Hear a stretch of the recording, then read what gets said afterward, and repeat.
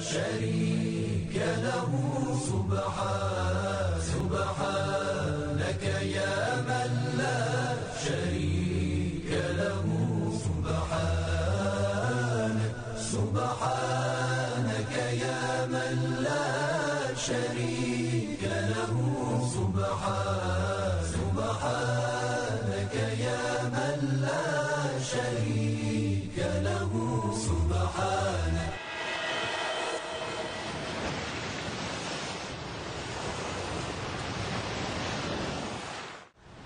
بسم الله الرحمن الرحیم سلام عرض می‌کنیم خدمت شما بینندگان عزیز و گرامی برنامه عروت البسقا ادامه بحث احکام نماز جماعت رو داریم یکی از مسائل مهم و یکی از شرایط نماز جماعت اتصال صفوف هست قبلا ما در شرایط نماز جماعت این مسئله رو گفتیم اجمالا توضیح دادیم اما در این زمینه سوال هایی مطرح است که اون سوال ها رو من خدمتتون عرض می‌کنم ما حکم شرعیش رو.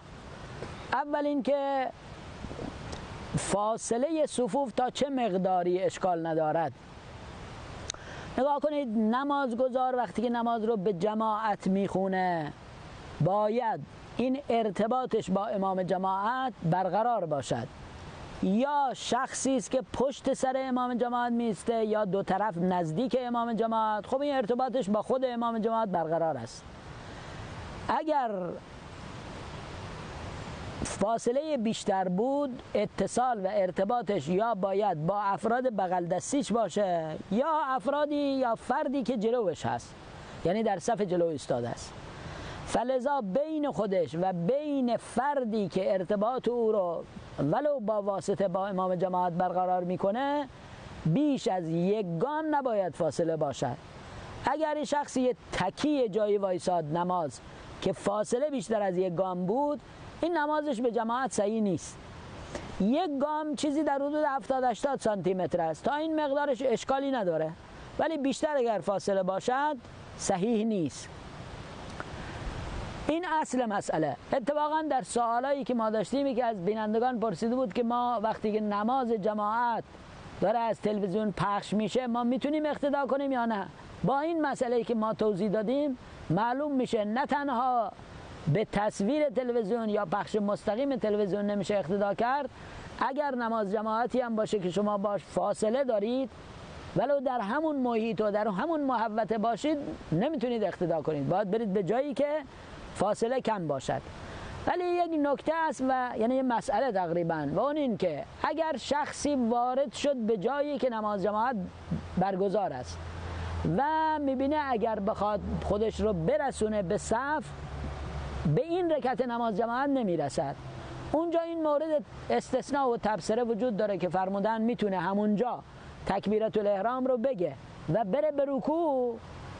حال یا در رکوع یا بعد از رکوع چند قدمی بره جلو که خودش رو به صف برسونه یعنی به جایی که دیگه اتصال برقرار میشه.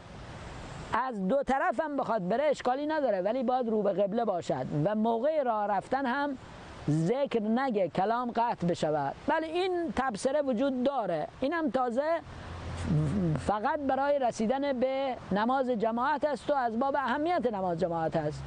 همون هم باید اتصال رو برقرار کند. مسئله دیگر بودن کودکان در صف جماعت هست که بعضی سوالشون این است. یا حتی بعضی اعتراض هم می‌کنن به بچه ها که مثلا چرا تو صف اول وایسادید و تصورشون هم این است که اگر کودکی در صف جماعت قرار گرفت این اتصال وجود نداره چون بچه است به هر حال.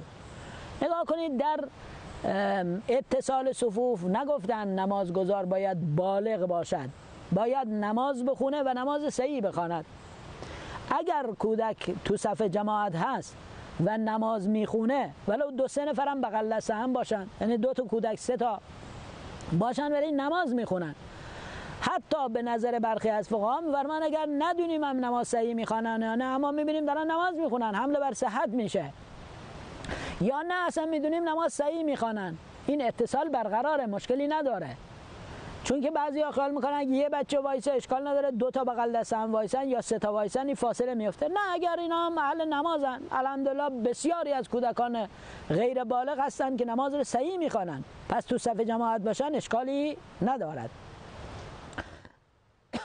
مسئله دیگر در بعضی جاها در نماز جماعت افرادی هستن که نشسته نماز می‌خونن.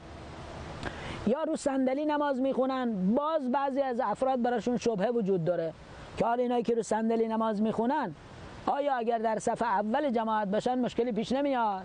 یا اگر ما بغل دست اینا وایسیم که اتصالمون به صف جماعت با این فردی است که نشسته نماز می‌خونه یا رو صندلی نماز می‌خونه؟ جواب این است که نه اشکالی نداره. چرا؟ به خاطر اینکه اونم داره نماز می‌خونه و طبق وظیفه نماز می‌خونه و نمازش صحیح است. باز نفرمودن کسی که اتصال رو برقرار می‌کنه حتما باید ایستاده نماز بخونه. بله امام جماعت برای کسانی که ایستاده نماز بخونن باید ایستاده نماز بخونه. یعنی نمیشه امام جماعت نشسته باشد و نشسته نماز می‌خونه دیگران ایستاده نماز می‌خونن به او اقتدا کنن. این درست. اما این تو صف جماعت اگر کسی عاجز بود و نمی‌تونه ایستاده نماز بخونه و نشسته خون این مشکلی ندارد. مسئله دیگری که در رابطه اتصال صفوف مطرح هست این که اگر نماز عده فرادا شد یا تمام شد اتفاقا در جاهایی که افراد مسافر در نماز جماعت شرکت می‌کنن گاهی وقتا پیش میاد که دو نفر سه نفر ده نفر گاهی وقتا نمازشون سر دو رکعت سلام میدن. دیگه هم پا نمیشن اقتدا کنن. یا را میفتن میرن. اتصال صفوف به هم می‌خوره. فرمودن اگر امکان داره شما چند قدمی برید به سمت راست یا سمت چپ یا سمت جلو کلام رو قطع کنید و به صف جماعت برسید. خب نمازتون درسته یعنی به جماعت صحیح است. اما اگر این امکان ندارد و این اتصال قطع شد نماز شما خود به خود فرادا میشه و تنهایی باید نماز بخونید. دیگه جماعت نیست. بعضی از فقها میفرمان اگر اینا سریع پا شدن و اقتدا کردن و به جماعت نماز اقتدا کردن مشکلی نداره. ولی عده دیگر هم میگن نه همین که اینها نمازشون تمام شد اتصال صفوف به هم می‌خوره و کفایت نمی‌کنن. نکته بعدی هم این هست که خب افرادی که نمازشون یعنی اتصال صف قطع شده اگر وسط نماز متوجه نشدن بعد از نماز متوجه شد حکمش چیه؟ در جواب این سوالم باید ارز کنم اگر بعد از نماز متوجه شد نماز صحیح است یا نه یک قسمتی از نماز اتصال برقرار نبوده یه دفعه متوجه شد. بعد نیت فرادا می‌کنه و نمازش هم درست است. خب منتظر بمانید در بخش بعدی به سوالای شما می‌پردازیم.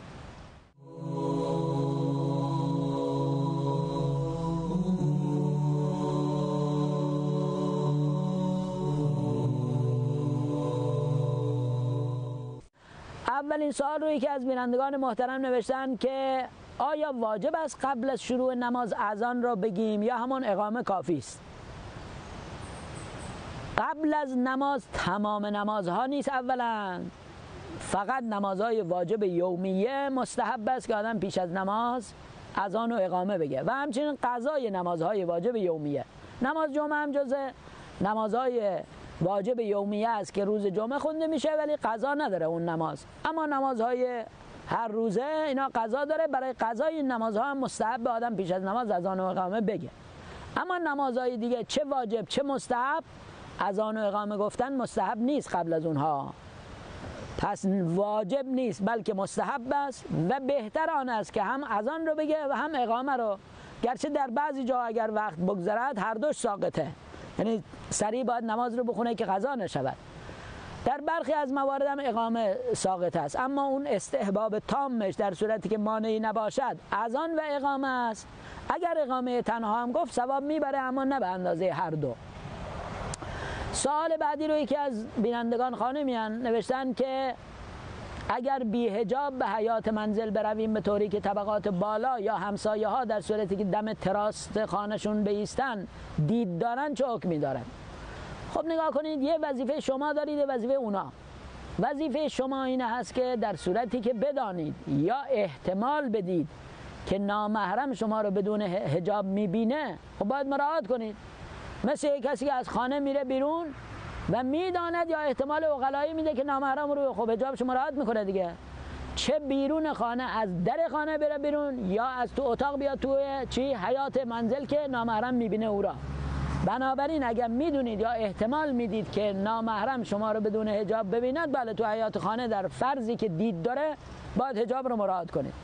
یه وظیفه هم اونا دارن که به هر حال بیخبر نباید بیان. یه جایی که در خانه مردم دید داره و اونجا ممکنه خانم نداند یا احتمال نده که کسی الان بیاد توی بالکن و نمی‌دونم لب پشت بام خانه. پس اونا هم یه وظیفه داره باز بیننده پرسیدن خانمی که به شوهر خود احترام نمی‌گذارد و به حرف او گوش نمی‌دهد نمازش چه حکمی داره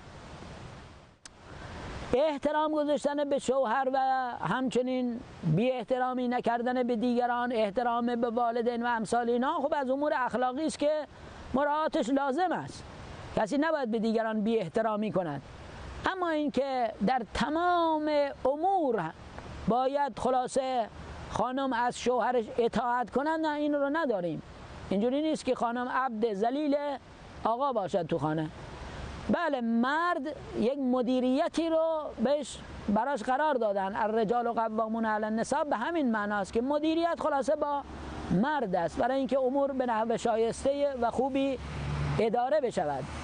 اما این به این معنا نیست که در هر کاری خانم می‌خواد انجام بده حتما باید از شوهرش اجازه بگیره.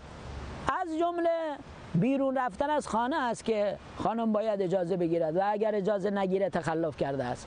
فلذا اگر اجازه نگرفت در کارها اینجوری نیست که نمازش هم باطل باشد یا نمازش مقبول نباشد. نه. نمازش ممکنه صحیح باشد اما اگر تخلفی بکند داریم که بعضی از گناهان مانع قبولی نماز است.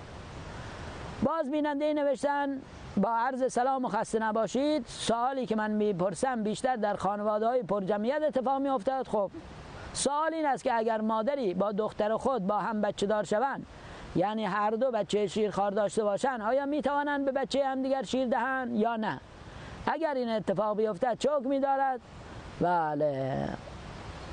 خواهش هم کردن که تاریخ یا روز جواب سوال رو بفرمایید که من برنامه رو ببینم. گرچه این که غیر ممکنه برای ما چون که معمولا سوال ها به خاطر حجم زیادش با فاصله جواب داده میشه و همچنین پخش همین چنین است. اما امیدواریم که ایشون بیننده برنامه باشند و جواب سوالشون دریافت کنند. کلا شیر دادن بچه های دیگران کار خوبی نیست. در بعضی از موارد هم نه شده است. اون مواردی هم که نه شده نه به این معنا که حرام است. گرچه بعضی از موارد چرا حرام هم هست. از جمله اگر کسی نوه دختری خودش رو شیر بدهد یعنی همین خانم میگن که آره بچه دار شده اونم بچه دار شده. دخترش هم بچه دار شده است. اگه بچه دختر خودش رو شیر بدهد بر شوهرش حرام میشه. یعنی دختر دختری خانم بر شوهر خودش یعنی بر داماد این خانم محرم میشه. یعنی باید از هم دیگه جدا بشود. اما از اون طرفش نه. مشکل شرعی پیش نمیاد که این دختر به خواهر خودش شیر بدهد چون اینا محرمن. منی هم نداره و مشکلی پیش نمیاد. گرچه حالا در بعضی از موارد این شیر دادن ها موجب محرمیتی می شود که در آینده ممکنه اطلاع نداشته باشن و با هم ازدواج کنن و مشکلاتی از اون جهت پیش بیاید. خب ظاهرا فرصتمون رو به پایان هست. من یک سوال دیگرم بخوانم. سوال بعدی این است که بیننده نوشتن من مقداری سبزی برای همسایمان خورد کردم. هنگام خورد کردن دستم با چاقو بریده شده و خون داخل سبزی شد و من هم به همسایمان چیزی نگفتم. حالا مخواستم اینم تکلیفم چیست. گرچه اون موقع تکلیفتون این بوده است. یا اون مقدار سبزی که نجس شده آب بکشید یا بردارید. یا اینکه برداشتنم اگه سبزی مال اونا باشه که باید اونم بگید. یا بهشون اطلاع می‌دادید چون که خوردنیه. اگر انسان چیزی حتی ظرفی را که غذا درش می‌خورن دستش بود نجس شد در اختیار دیگری می‌گذاره باید بگه. غذا هم باشه همین حکم رو داره. اما فعلا نگفتید. دیگه اونا هم استفاده کردند و گذشته است. دیگه لزومی نداره بهشون بگید. اما بعد از این مراعات بفرمایید. خب فرصتمون به پایان رسید. شما رو به خدای بزرگ میسپاریم. موفق باشید و السلام علیکم و رحمت الله.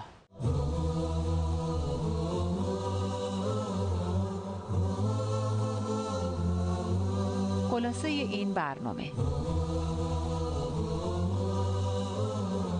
در این برنامه به یکی از شرایط نماز جماعت یعنی اتصال بین صفوف اشاره و در این راستا چند مسئله را بیان کردیم.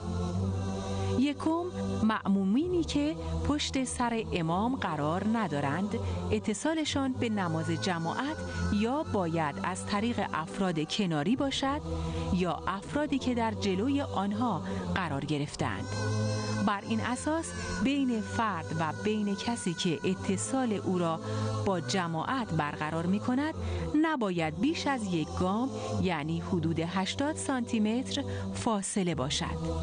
دوم اگر کسی وارد محل برگزاری نماز جماعت شود و دریابد که اگر بخواهد خود را به صفوف برساند به آن رکعت امام نمی رسد در این حالت می تواند همانجا تکبیرت الاحرام را بگوید و به رکوع برود و سپس در همان حالت رکوع یا بعد از برخواستن از رکوع چند گام بردارد و خود را به صفوف نماز جماعت برساند.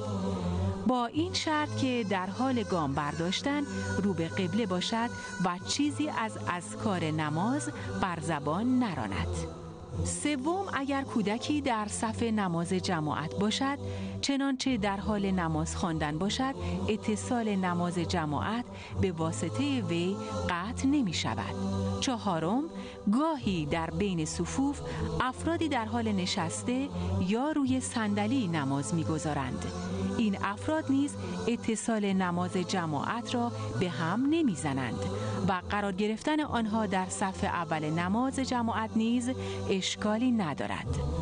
پنجم اگر نماز بعضی از معمومین فرادا یا مثلا به دلیل شکسته بودن تمام شد و باعث از بین رفتن اتصال بعضی دیگر از معمومین شد چنانچه این دسته از معمومین بتوانند چند گام بردارند و خود را به صفوفی که اتصال دارند برسانند می توانند چنین کنند. اما اگر این امکان وجود نداشته باشد نماز آنها فرادا می شود البته به فتوای بعضی از فقها اگر افرادی که نمازشان را تمام کردند بلافاصله بلند شوند و دوباره اقتدا کنند اتصال سایر افراد به هم نمی‌خورد. در برنامه بعد آداب نماز جماعت را بیان خواهیم کرد.